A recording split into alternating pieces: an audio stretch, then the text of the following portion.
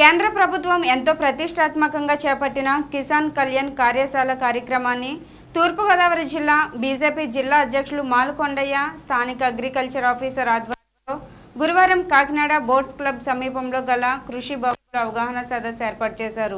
రైతులకు అనుకూలంగా పనిచేయట్లేదు అనేది నేను స్పష్టంగా చెప్తాను.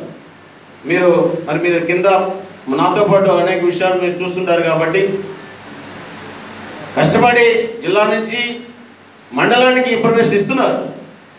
మండలం నుంచి గ్రామానికి వచ్చేటటువంటి విషయంలో దయచేసి అక్కడ పనిచేస్తున్న అధికారులు కూడా నేను రిక్వెస్ట్ చేస్తున్నాను.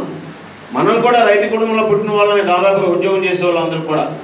రైతుల కోసం ఆలోచించడం కోసం ప్రధానమంత్రి నరేంద్ర మోడీ గారు రైతుల కోసం ఏం మాట్లాడుతున్నారో కింద గ్రామంలో పనిచేస్తున్నటువంటి వ్యవసాయ శాఖ అధికారులు కానీ దానికి సంబంధించినటువంటి లింక్ ఉండే అధికారులు కానీ పూర్తిగా విశ్వాసంతో పనిచేసి ఇవాళ రైతులు ఎందుకు ఆత్మహత్యలు చేసుకుంటున్నారు?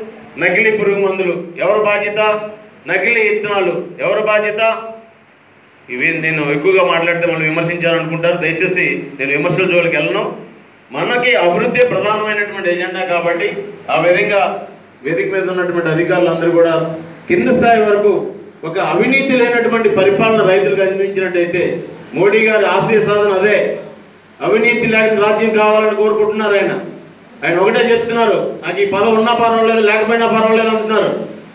ఉన్న నాలుగు రోజులు దేశం కోసం పనిచేస్తానని చెప్తున్నారు.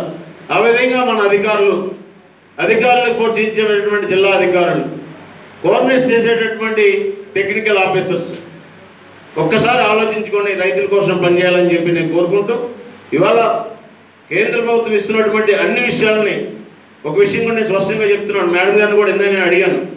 కేంద్రం నుంచి వచ్చిన సర్క్యులర్ ప్రకారం కార్యక్రమాలు జరగట్లేదు. ప్రధానమంత్రి గారు ఇచ్చిన సర్క్యులర్ ప్రకారం జరగట్లేదు. ఇందా నేను స్టాల్స్ చూశాను.